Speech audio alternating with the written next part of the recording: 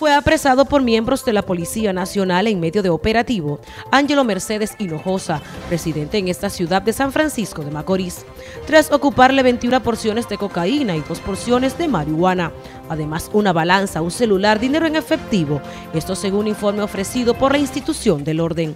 En las próximas horas será sometido a la acción de la justicia. Para NTN, su noticiero regional, Joanny Paulino.